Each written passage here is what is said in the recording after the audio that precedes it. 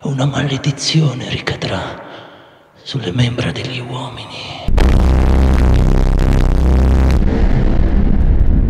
Bruto è malato e scuscia dal suo letto salubre per sfidare il vile contagio della notte.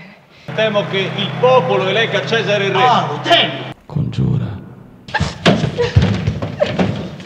Che cosa dicono gli auguri? Vorrebbero che oggi non usciste. Cesare si tenga forte, perché lo scrolleremo.